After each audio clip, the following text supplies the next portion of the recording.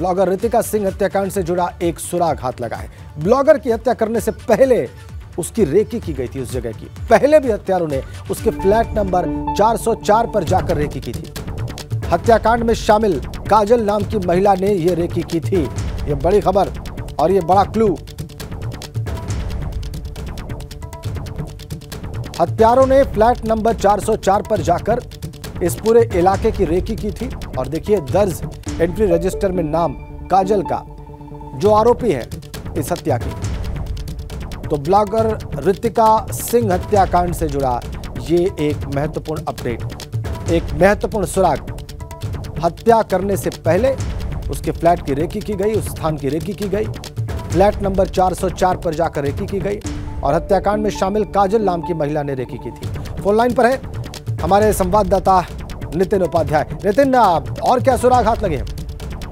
देखिए investigation ABP Ganga की ज़्यादा तेज चल रही है और बजाय पुलिस की।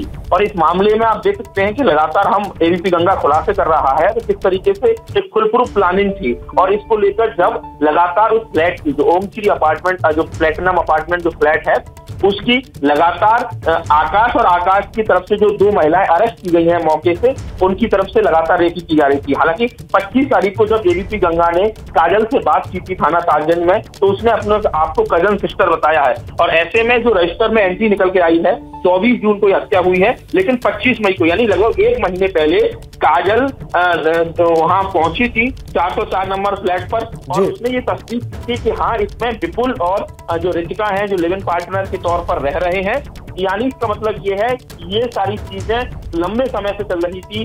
कब कितने बजे आना है कितने बजे जाना है कौन कौन साथ आता है कौन कौन नहीं आता है। तो ये आप देखते हैं कि रजिस्टर जो जो फ़ोटो एबीपी गंगा के पास है उसमें नौ बजकर उनसठ मिनट पर एंट्री हुई है। दस बजकर दो मिनट पर जाने की एंट्री हुई है। यानी ये तस्दीक करने के बाद कि हाँ रितिका और विपुल ने अपना फ्लैट बदल लिया है और वो इस ओम श्री प्लेटिनम अपार्टमेंट में शिफ्ट हो गए हैं। तो आने जाने की जो एंट्री है, वो उसमें बाकायदा रजिस्टर की गई है और उसके एक महीने बाद एक प्लानिंग के तहत रितिका की हत्या कर दी जाती है। और काजल नाम की जो महिला का नाम जो रजिस्टर में है जिसकी अरेस्टिंग भी उसी दिन मौके पर होती है जो अपने आप को कज़न सिस्टर बता बता रही थी हालाँकि पुलिस का एक दावा है ये कोई रिश्ते में बहन नहीं है। पैसों का लालच देकर भाड़े पर एक महिला हत्यारोपी को बुलाया गया है। तो ये सारी चीज़ें हैं लेकिन पुलिस सवाल यही उठता है कि पुलिस इन सारे तथ्यों को जाँच में क्यों शामिल नहीं कर रही है? इन्वेस्टिगेशन क्यों स्लो चल रहा है? पर पीड़ित जो परिवारीजन है वो क्यों संतुष्ट नहीं है?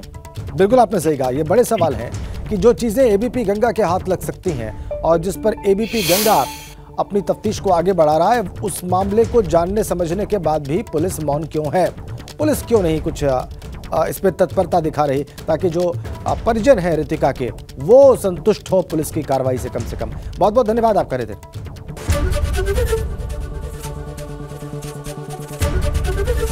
एबीपी गंगा, खबर आपकी जुबा आपकी।